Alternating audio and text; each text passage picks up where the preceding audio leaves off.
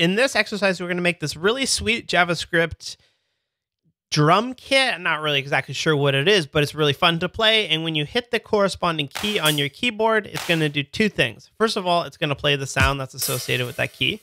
And second of all, it's going to do this short little animation where it pops the button up to be a little bit bigger than we want. And then also it will apply that yellow border and that little um, background there. It's really, really subtle. And, and I'll show you how that's working here. If we inspect on this kick one right here, you see we have this data dash key, and we'll look at that in just a second. But when I press it, yeah, you can't even see it adding because it's going so quickly. But what that's doing is it's adding a class of playing to that element, which will then kick in the CSS. If I open up today's exercise and we look at the style.css, you see we have a class of playing. It's going to scale it up by 1.1 in our CSS. It's going to change the border color. It's going to change the box shadow. Now, because if we look at a regular key here, you see that we have a transition that is 0.07 seconds long, really, really quick. And that's going to scale it up and change the background color behind it. So that's really the two things that we have here.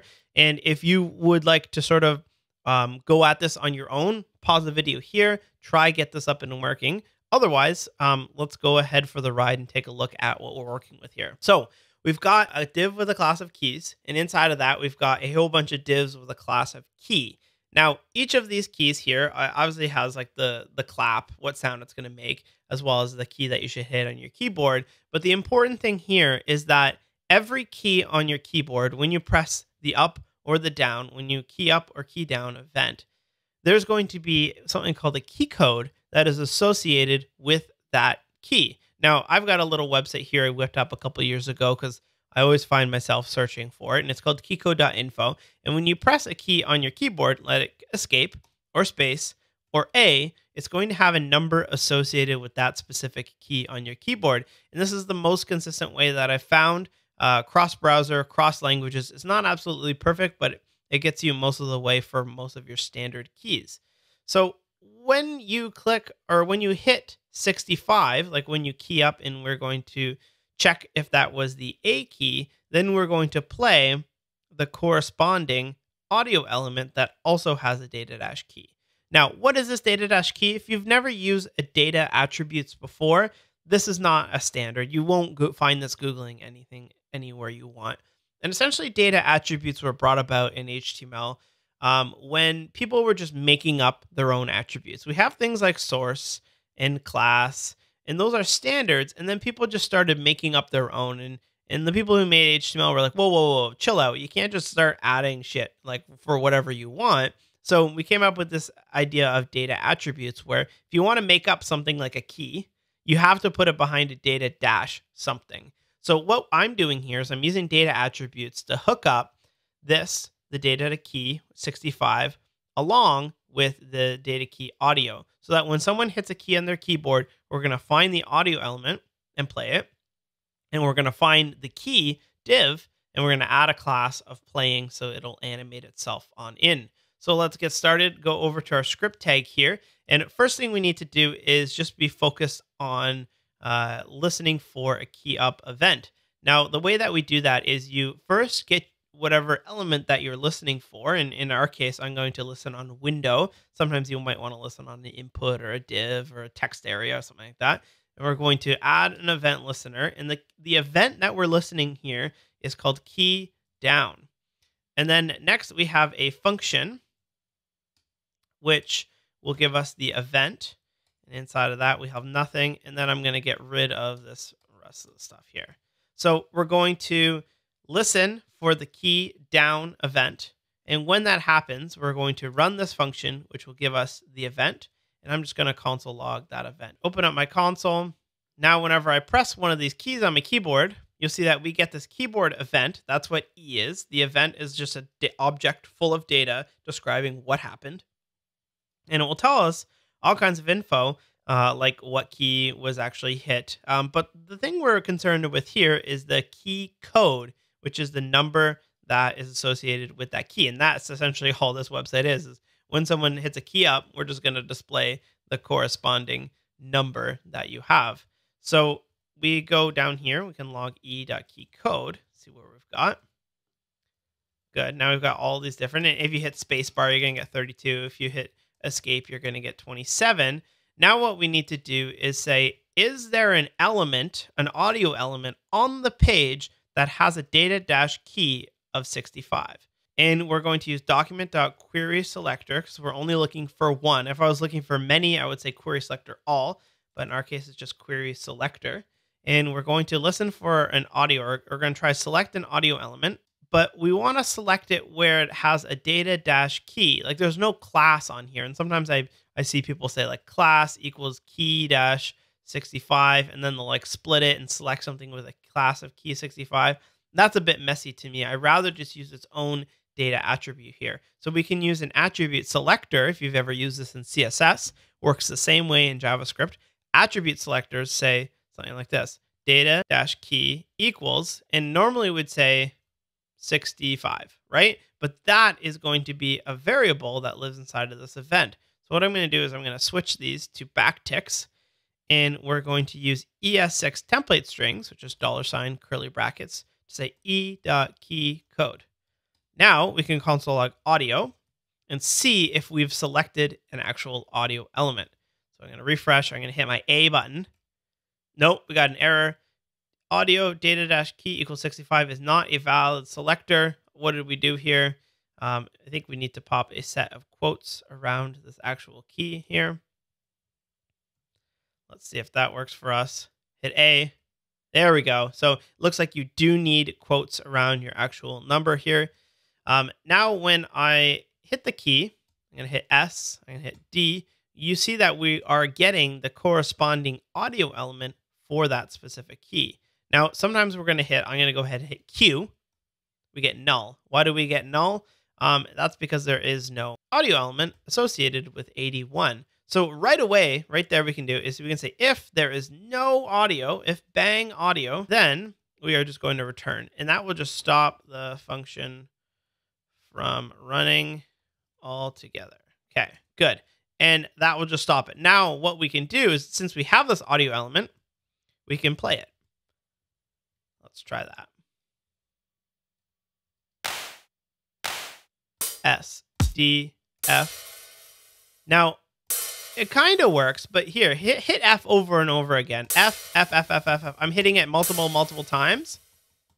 But it really only plays once every so often. And that's because the open hat F, it, it plays and it takes like maybe two or three seconds to actually get to the end. And if you call dot play on an audio element that is already playing, it won't play it again because it's like, oh, why would I do that? I'm, I'm clearly already playing with that. So what we want to do before we do that is sort of rewind it to the start of the element so that if you hit it in succession over and over and over again, it will just rewind it to the start. So we say audio dot current time equals zero, and that's just going to uh, rewind to the start.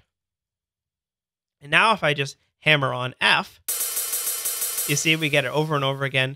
A, A, A, S, S, S, D, D, D, F, F, F. Good. Playing over and over again. I'm going to try some of the other keys on the keyboard. Nothing happens because we're doing this check if there's no audio element.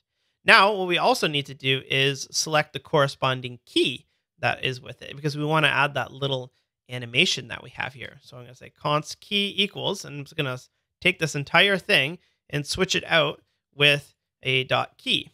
So instead of selecting an audio element with the data dash key, we could select a div or in our case, something with the class of key, but also the data dash key. Now let's uh, go to the bottom here and console log the actual key element. Good. Look, these are the corresponding key elements that we have. And how do we get them to do that uh, cool little animation? Well, again, if we go back to our style.css that we've got here, you see that I've already styled the, the CSS, and most of this does not matter except the one line that we have here that is transition all 0.07 seconds. And when you add a class of playing to that, we're going to scale it up, we're going to change the border color, and we're going to change the box shadow color. Um, so what we can do is we'll say key dot class list dot add, and then we'll say playing. And if you've never used this, if you've just used to using jQuery, that's the same thing as saying like key dot add class playing. Except we're not using jQuery here. We're just using vanilla JavaScript. So that's the way that you do it in vanilla JavaScript. You call dot class list and then add. Similarly, we also have dot remove and we have dot toggle, which will allow you to add and remove the different classes that you want. So let's see how that works. Aha, S, D, F. You see how it's adding them? If you want to see how it works a little bit slower, what you can do is go into your CSS and change this. Maybe let's make the scale like 2 and let's make the transition 1.07 seconds.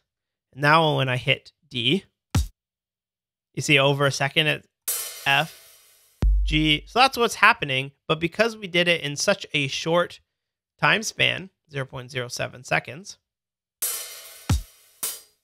it just does it really, really quickly. And also we don't want to scale it up exactly that much. Now that works, but what why isn't it going away? And that's because we are adding the class, but we have not yet removed the class. And you might think, oh, that's no problem. We'll do like a set timeout here. We'll run a function inside here and after 0.07 seconds.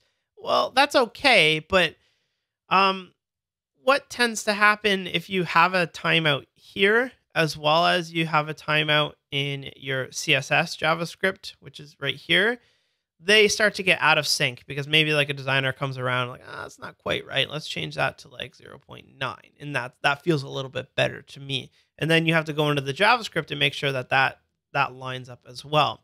So rather than like just setting a timer to do it, what we can do is use a transitioned end event that will fire when the thing has stop, stopped animating itself on in. Now, what is a transition end event?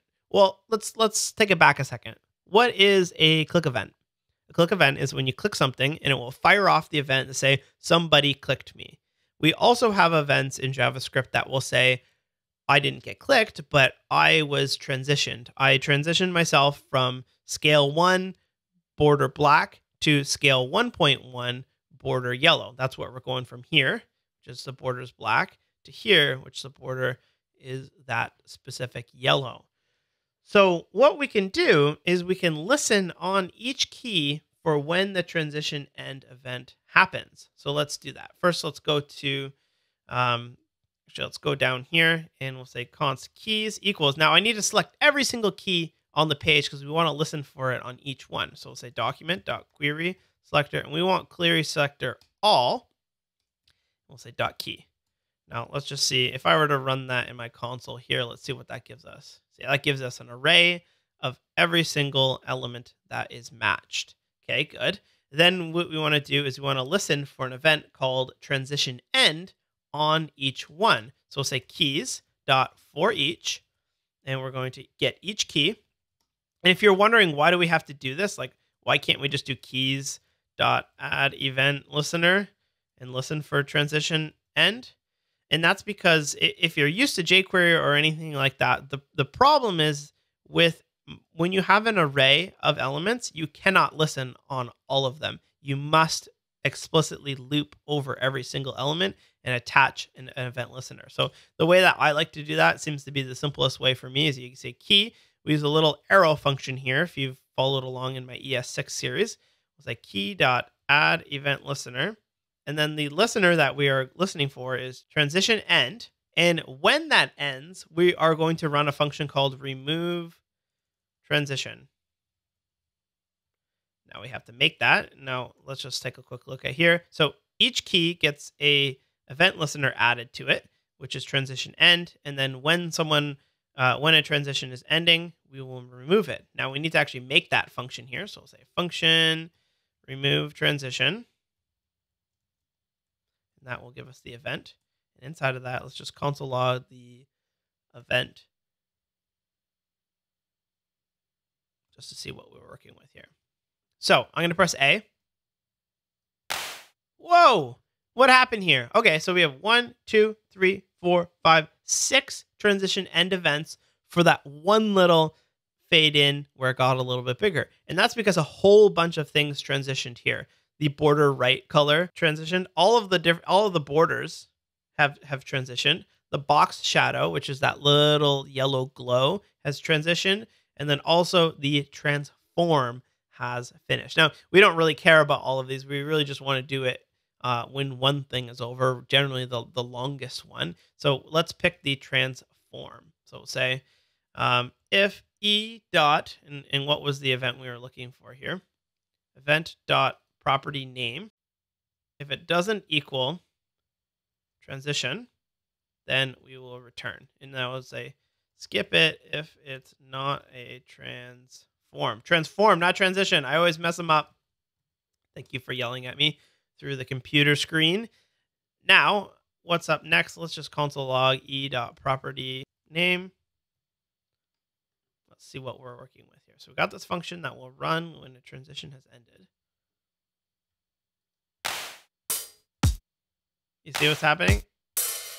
It's console logging the word transform because that is the thing, the property that is being ended. Now it does it really quickly, but if I were again to change this transform to 2.07 seconds and press A. One, two, there we go. It took two seconds and then that's when it ended. And coincidentally, well, not coincidentally, that's why we want to do it. When that happens, when it's done moving itself in, we just want to reverse everything that we know about that. So we can head to our remove transition function here.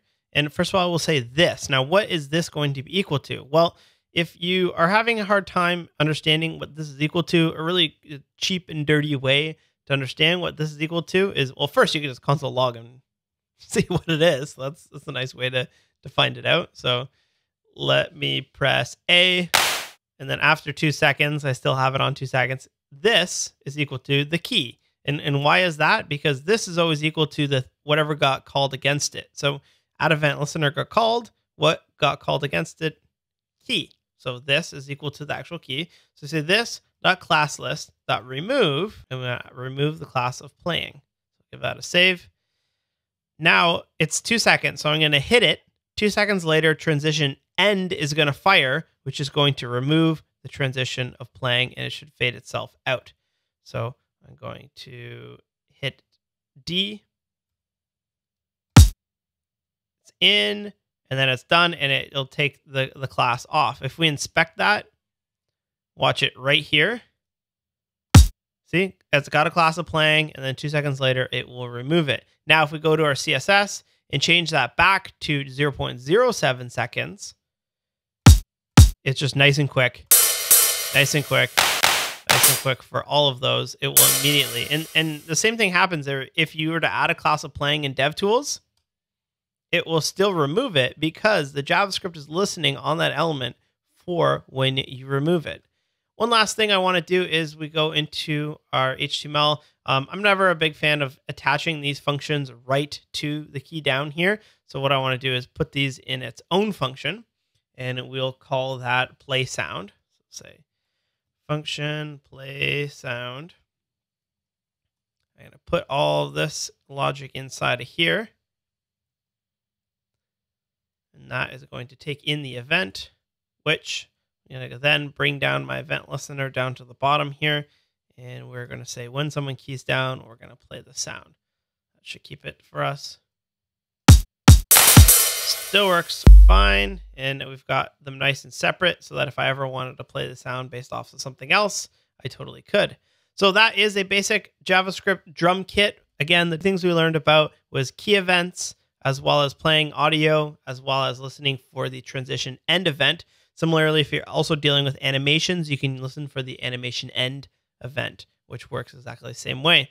Thanks so much, and I'll see you in the next one.